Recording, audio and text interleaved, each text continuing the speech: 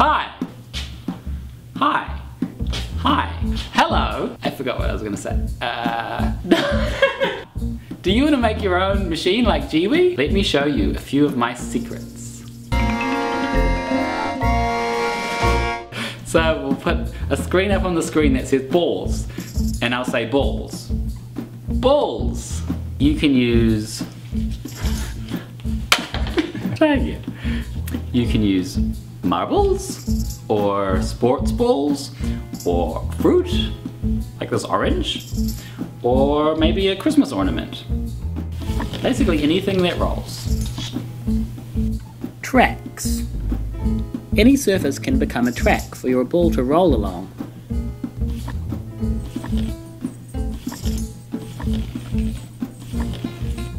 People love watching things fall over. That's why dominoes are cool. And books. And chocolate. There's lots of places you can make machines that don't involve drilling big holes in the wall. For example, a ball can roll off a table and into a cup. Ah! And into a cup. And into a cup. And into a cup. And into a cup.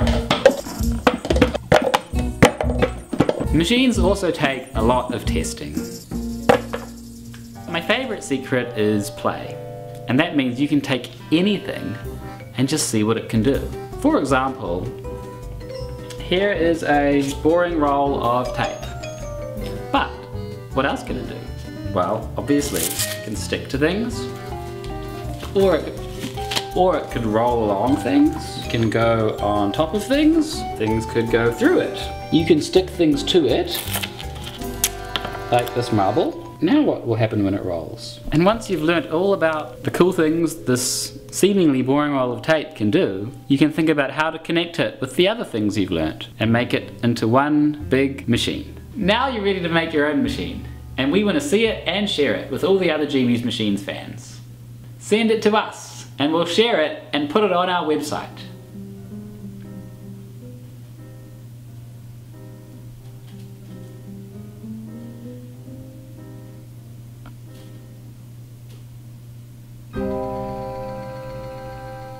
Is enough.